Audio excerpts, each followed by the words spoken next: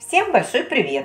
Сегодня будем готовить очень красивую и вкусную закуску на праздничный стол. Чтобы выдержать морскую тему, начинку сделаем из крабовых палочек. Список всех ингредиентов будет, как всегда, в конце ролика, а также в описании под видео. Приятного просмотра! Сначала делаем ракушки. Берем 500 граммов слоеного бездрожжевого теста и делим его на прямоугольники или квадраты со сторонами до 10 сантиметров. Затем на каждом кусочке теста срезаем два уголка. С помощью небольшой крышечки обрезаем узор на края с трех сторон.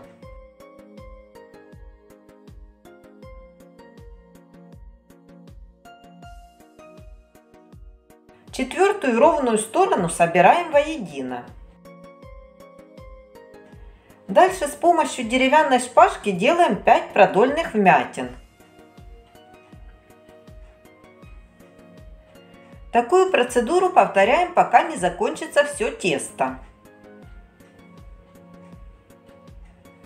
Обращаю ваше внимание, тесто раскатывать не нужно. Разморозили и сразу работаем.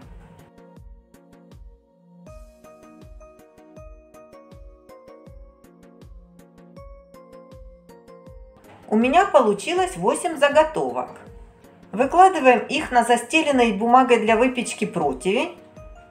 Смазываем взбитым яйцом.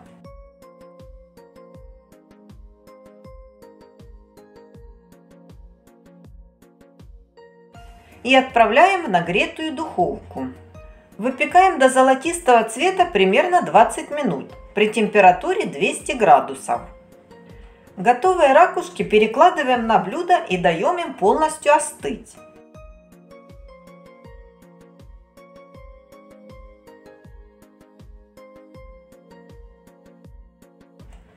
А на противень высыпаем обрезки теста и запекаем их тоже до золотистого цвета. С тестом мы закончили, теперь готовим начинку. Натираем на крупной терке 100 граммов крабовых палочек, 2 вареных яйца, и 2 плавленых сырка. Соединяем все измельченные продукты в одной миске.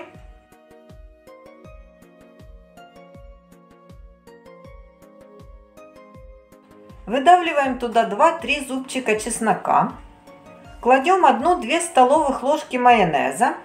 Солим, перчим по вкусу и хорошо перемешиваем. Теперь разрезаем остывшие ракушки вдоль пополам, не доходя до конца примерно 1 сантиметр. Наполняем их приготовленной начинкой.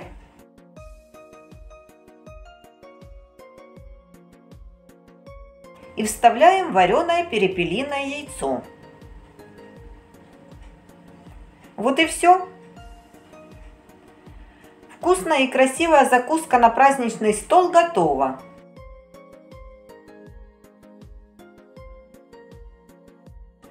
Украсить блюдо можно листьями салата и запеченными обрезками теста. Если в запеченные кусочки теста добавить взбитую с сахаром сметану, получится еще и десерт. Приятного аппетита! Если вам понравился рецепт, ставьте лайк, жмите колокольчик и подписывайтесь на наш канал. Буду очень благодарна за отзывы и с удовольствием пообщаюсь в комментариях.